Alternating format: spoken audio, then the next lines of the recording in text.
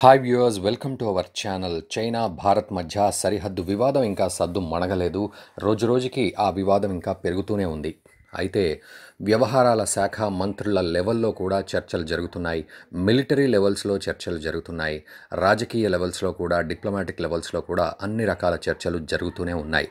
కానీ నిజంగా నిద్రపోతున్న వాడిని లేపొచ్చు కానీ నిద్రపోతున్నట్టు నటిస్తున్న వాడిని లేపలేం అన్నట్లుగా చైనాకు బుద్ధి చెప్పాలి అని ఎంత ప్రయత్నం చేసినా చైనా బుద్ధి మార్చుకోవడం లేదు అనేది మాత్రం అర్థమవుతోంది.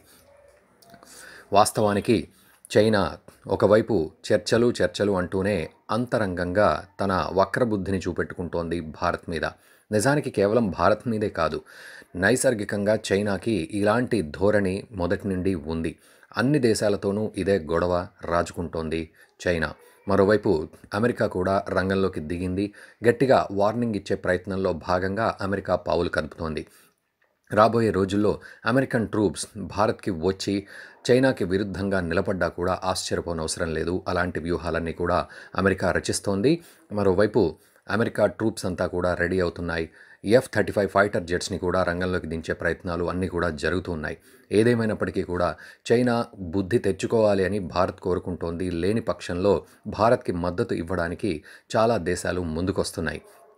మరోవైపు రష్యా కూడా చైనాతో కొంత మౌనం ప్రదర్శిస్తున్న వేళ ఈ రకంగా వ్యూహాలు నడుస్తూ ఉన్నాయి. ఎందుకంటే చైనా నిజానికి రష్యాకి ఒక పెద్ద మార్కెట్ ప్లేస్ అయినప్పటికీ కూడా చైనా ఆ మార్కెట్ ప్లేస్ని పూర్తిగా కంప్రెస్ చేసేస్తోంది. కేవలం రెండు మూడు యూనిట్ల ఆర్డర్లు తీసుకొని ఆ తర్వాత తన సొంత టెక్నాలజీని ఉపయోగించి డమ్మీ చైనా పీస్లన్నీ తయారు చేస్తోంది. హెలికాప్టర్ల విషయంలో కావచ్చు జెట్ ఎయిర్ క్రాఫ్ట్స్ విషయంలో కావచ్చు. సో రష్యా కూడా దీనిపైన కాస్త గంభీరంగా వ్యవహరిస్తున్నట్లుగా తెలుస్తోంది.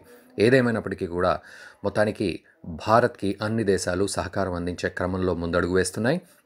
మరోవైపు చైనా పూర్తిగా కార్నర్ అవుతుంది. మరి ఈ నేపథ్యంలో కనీసం చర్చల ద్వారానైనా చైనా కాంప్రమైజ్ అయ్యి వెనకడుగు వేస్తుందో లేదో చూడాలి. మరి నిజంగా చైనా వెనకడుగు వేస్తుందా లేకపోతే ఏం జరుగుతుందనేది కామెంట్ చేయండి. ఇలాంటి మరిన్ని అప్డేట్స్ కోసం మా ఛానల్ని సబ్స్క్రైబ్ చేయండి.